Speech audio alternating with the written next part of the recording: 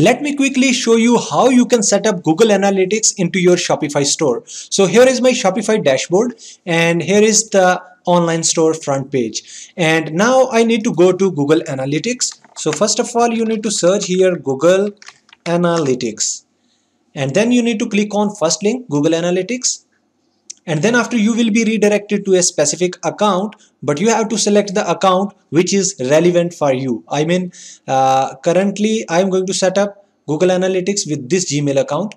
So it will open up the dashboard of google analytics. Then i need to create some properties for that. So here we go. Now you can see that we have home reports and all. Now you need to click on admin. Then you need to click on click properties once you clicked on properties then you need to add here specific name. For example the website name is paragon and here I am going to write paragon analytics maybe.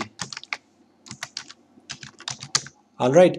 Then after you need to select the uh, select the country here we have United Kingdom but I need to write here Australia all right. Then after I need to select a specific country which is Australian pound Australian dollar sorry.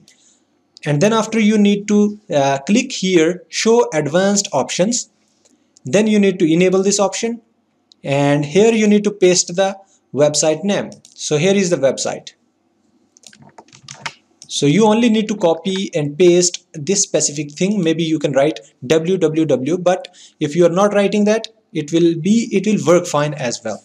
But you can add here www.paragon.com.au all right. Then after you need to select this option create universal analytics property only. Then you need to click on uh, next. Once you are clicking on next then you need to select a specific category. Click on select. Then you can uh, select here any category which is uh, which is related to your store but here it is related to home and garden because the products are related to home and garden. All right. Then after you need to click here business size that is for example small 1 to 10 employees then you need to select measure content monetization or maybe increase my conversions. All right. And once you are selecting all this stuff then you need to, need to click on create so it will create the setup for my Google Analytics. Once you are done, then you will be getting this kind of screen. All right. Here you can see that it automatically gives me this uh, screen where I need to uh, select the code. So here you can see that I have this code which I am going to copy from here. But first of all, I need to go to the dashboard of my Shopify store again. Then you need to click on actions.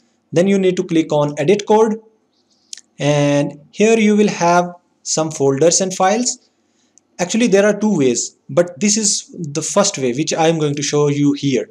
Click on layouts then click on theme.liquid once you are clicking on theme.liquid then you can see that we have head tag open. Just press enter key and you will get some space. Above this we need to paste this code which is this one. Copy this code and paste it here. All right now we are good to go. You can save the changes and track the analytics. But what we can do now is we can close this click on exit and here we have another option of preferences. Click on preferences then scroll it down and here you can see that we have the option of Google Analytics. So this is also one of the box where you can paste that code which we have this one and we can paste that code and this will also work. First of all you need to uh, paste that code here. If that is working fine then that's good. If that is not working fine then you need to go uh, go and uh, apply the first step which I told you before. All right. Once you are done then you can actually refresh this page. And let me go to analytics.